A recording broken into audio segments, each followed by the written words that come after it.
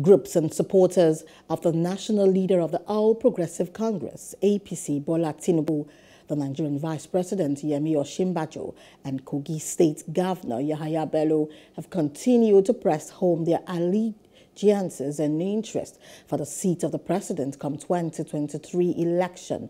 And this is as these politicians are yet to indicate interest in running for the position.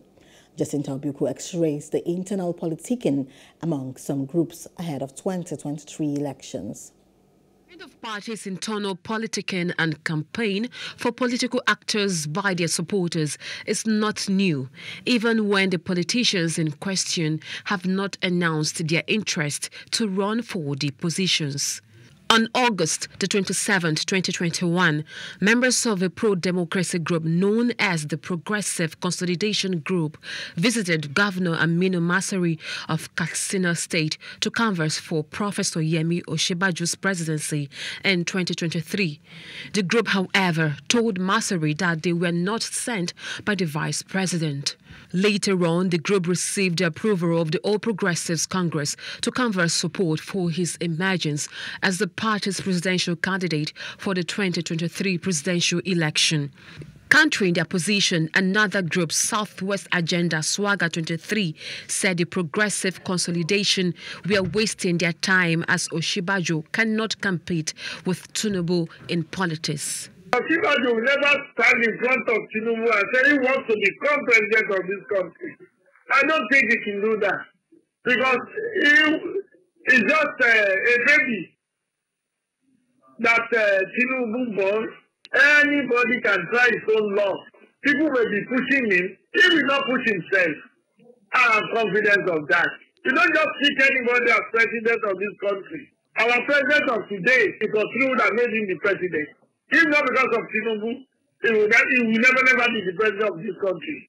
This got a political analyst Babashola Adebuye talking. He described the calls for both Vice President Yemi Osinbajo and former Governor Bola Tinubu to run for presidency under the platform of the All Progressives Congress as a political game.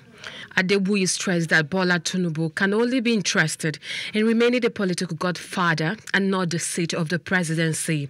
It's a game that we either pay one of them in other words, when the time comes for negotiation, someone will have to agree with another person, whereby the two of them will have the collaboration and they work together as one. I am not saying Asiwaju Bola Ahmed Tinubu campaigning, uh, contesting for this election. I believe Asiwaju Bola Ahmed Tinubu is actually doing this for someone and is looking for a way to become a political godfather in Nigeria, whereby he will be in a position because it's wiser than he contesting. He knows and he understands the political game more than most of these people.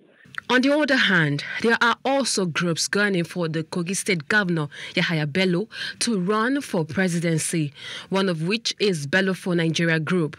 They believe the governor has all it takes.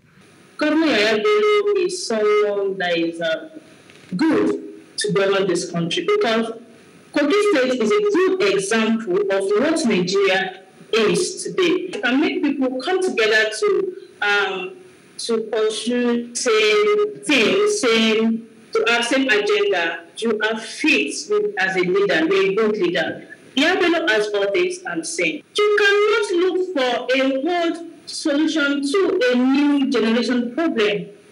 It's almost impossible. You will almost not get anything done. And on the concerns that the governor is yet to show interest in their request, she said it is inconsequential. Whatever you believe in, you have to start working on it. And that's why parents that believes my child will go to school, they take their children to that path. Others that believes no, it's skills and uh, they take their children there. Probably because we do not have anybody that's appealing to us and we see the way things are.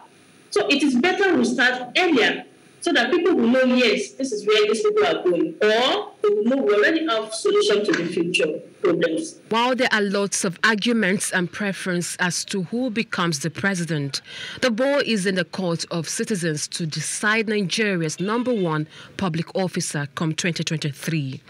Jacinta Obiuku for Plus TV Africa. Hello. Hope you enjoyed the news. Please do subscribe to our YouTube channel and don't forget to hit the notification button so you get notified about fresh news updates.